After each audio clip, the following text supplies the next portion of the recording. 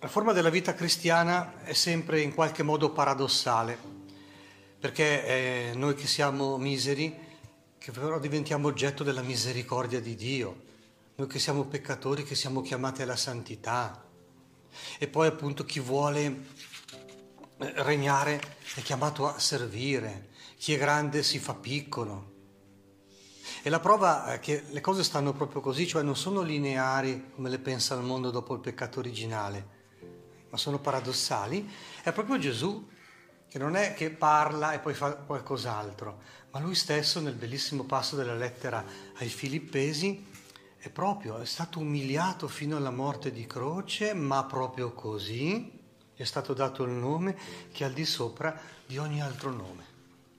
Ecco, in tanti modi, devo dire che c'è qualcosa sempre di sorprendente. La sorpresa di oggi, dopo tanti inviti soprattutto all'umiltà, è, è che quest'uomo qui dopo aver sentito Gesù è proprio attratto da Gesù, sente che c'è qualcosa di grande, tanto che gli dice, ma veramente, ma beato chi prenderà cibo nel regno di Dio. Ma Gesù gli rispose e racconta la parabola degli invitati a nozze.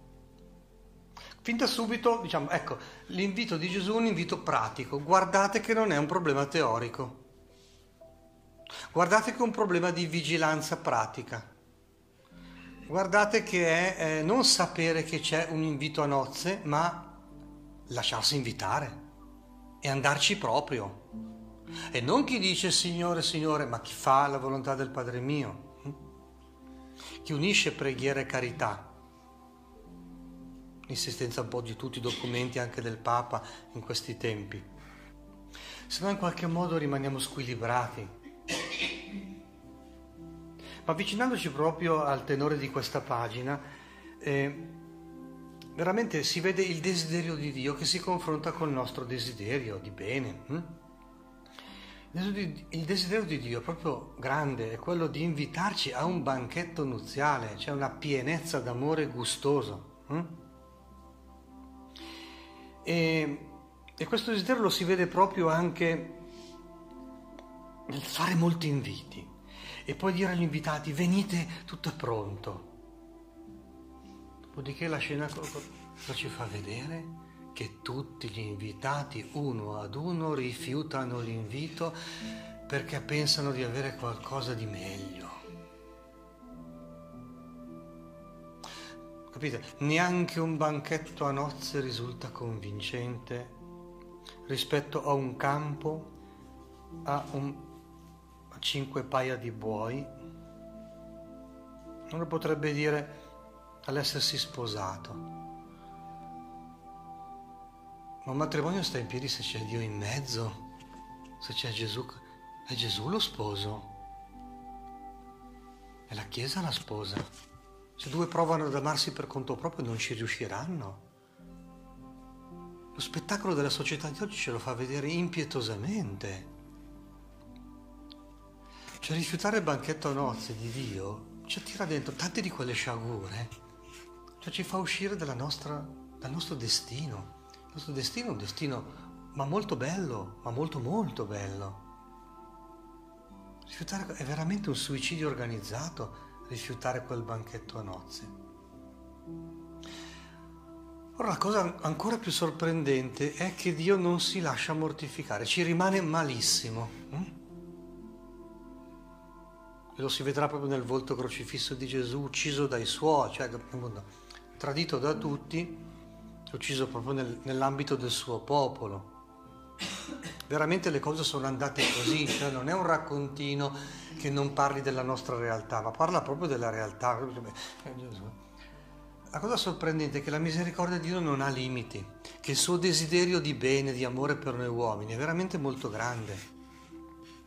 E infatti dice, apri gli inviti. Eh, interessante. Poi San Paolo lo scriverà maniera spettacolare nella lettera ai Romani. È proprio attraverso l'irrigidimento del popolo di Dio che i canali si sono aperti per tutto il mondo, semplicemente per tutti.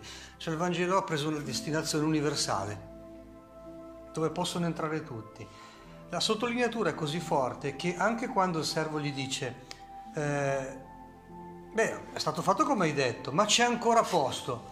Allora, ecco, il Signore, il padrone dice al servo, torna di nuovo sulle strade, perché voglio che la mia casa si riempia. Vedi, Dio non è che accorcia il braccino, anzi, con un infinito amore, un infinito dolore, apre ancora di più.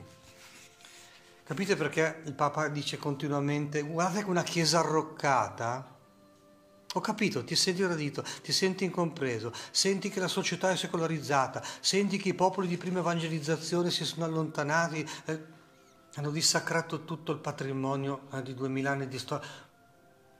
Non essere troppo preoccupato, nuova evangelizzazione, allarga, no, non stringere.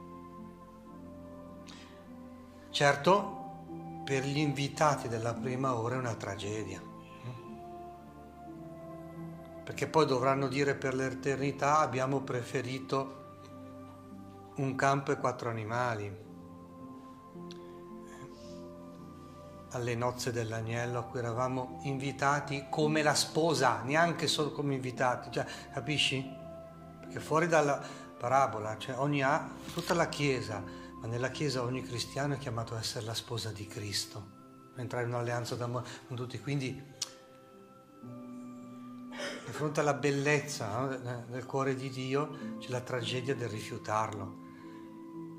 E allora lasciamo che il Signore ci inviti. Interessante che la Chiesa mette quel versetto lì per preparare il Vangelo. Venite a me, voi tutti che siete stanchi e oppressi, appunto pure sviati, presi dai beni di questo mondo. Eh? piaceri e dispiaceri, qualunque cosa dica, non vi succeda che piaceri e dispiaceri, occupazioni e preoccupazioni, come sono solito dire, eh, vi allontanino da quell'invito d'amore. Gesù, eh?